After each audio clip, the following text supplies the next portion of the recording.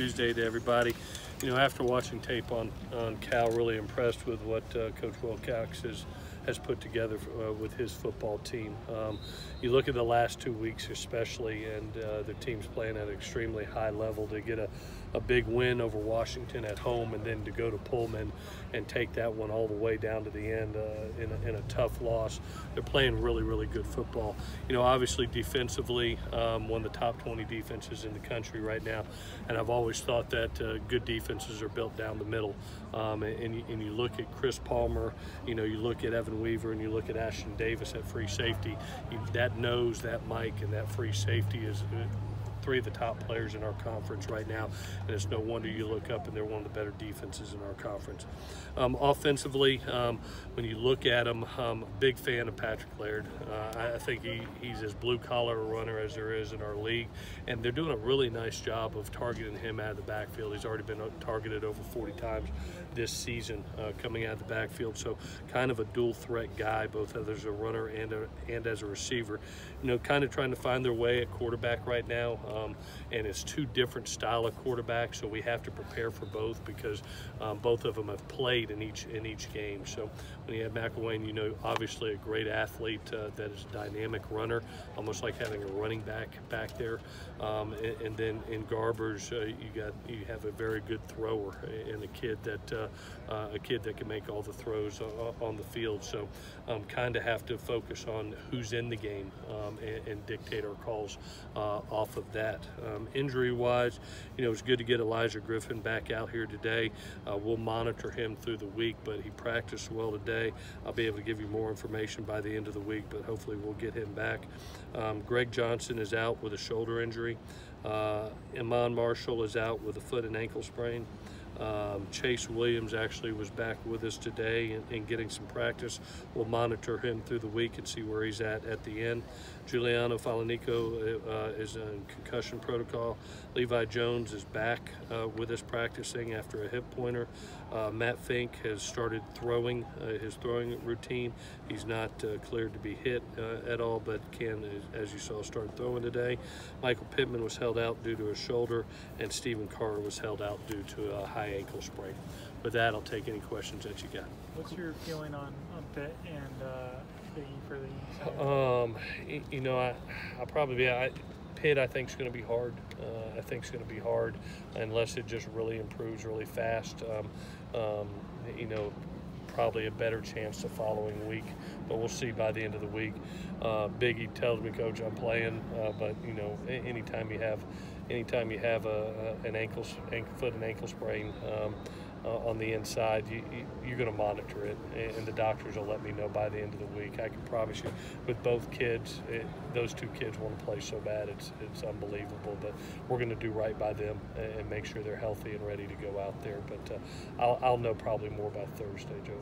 Would Amon Ra be the candidate to kind of replace Pittman on the outside just because he's been there before, or yeah, so, the way Devin had last week? Yeah, so what we're going to do is end up, uh, you know, having Tyler and Amon-Ra outside with Velus inside, as well as using Devin to, uh, and Josh Imatorbhebhe to be able to roll with those two guys and, and Trevon Sidney inside. So we've got a true two deep uh, at, at, at, in our three wides package right now and feel confident in all six kids to step in and, and make plays.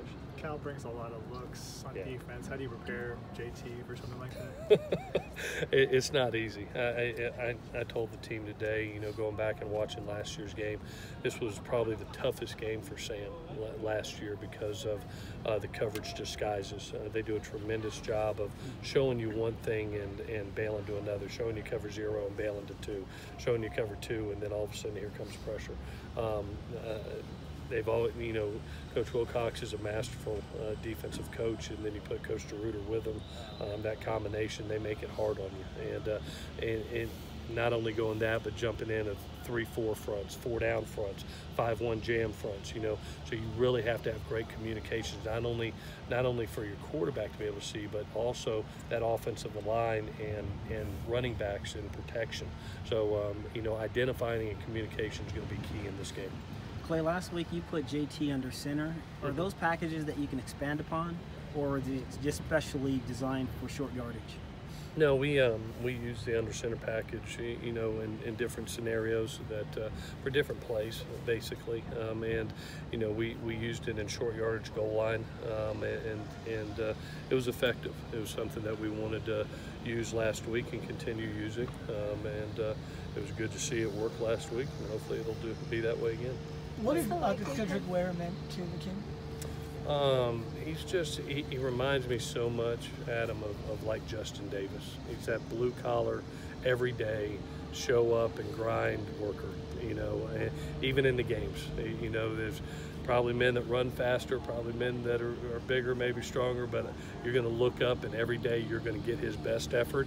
And usually his best effort is, is 100 yard games or more. And I was so proud of him uh, to be able to have a 200 yard game and, and, and be able to carry the load like he did uh, the other night uh, was great. Um, and uh, with that combination of him and Vi when Steven went down uh, was was really nice. Just two physical style runners, but he's he's a blue collar kid. He shows up every day, and and, and uh, it doesn't matter if it's a game or practice. You're going to get his best. The last couple of years, he obviously was behind Rojo and even other guys. Has he proven something to even you this year? Yeah, yeah, you know, and it happens that way. I remember it's amazing because it, it's kind of like Buck Allen. It's kind of like Justin Davis. You know, it's it's sometimes uh, your most important years, your last. Uh, you know, uh, uh, you, for young people, they think it's their first, uh, but really it's your last year in, in college uh, that you want to have your best year um, before going on to the next level. And uh, you know, I, I think Sid's showing a lot of people that he can be the next Buck Allen. He can, he can be the next Justin Davis. That he can perform not only at this high level, but but on Sundays too. And really proud for him. Clay, What's the- JT's. Clay's uh, JT's never been tested like this. Never had to grind like he has these last three months. What have you learned about him at this point of the season? Yeah, that he can just handle adversity and, and keep poised about it and uh, not get over emotional and um, not get frustrated. You, you know, he's he's a guy that I've really appreciated because he's taken it one week at a time. Whether things went good or whether things went bad, he kind of clears the slate.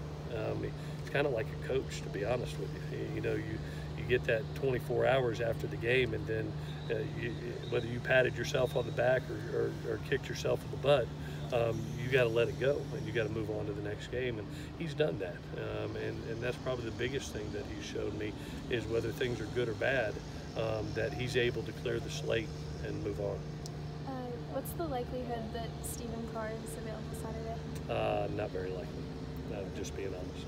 Play a little off topic, but today being an election day, do you ever talk to the team about voting or those sorts of uh, Yeah. discussions? Yeah, we do. Um, you know, I, it was proud that Coach Bax had his "I voted" sticker uh, right on this morning, and, and we do have those discussions with our team about having the availability to practice uh, what's the greatest thing in the world, which is our freedom and our right to vote. And uh, there's a lot of uh, young men and women that have fought for us to provide uh, our freedom and, and the honor to, to be able to vote. So it's it is a topic of discussion and an opportunity for our kids to, to be able to go out there, and I hope they all take that opportunity.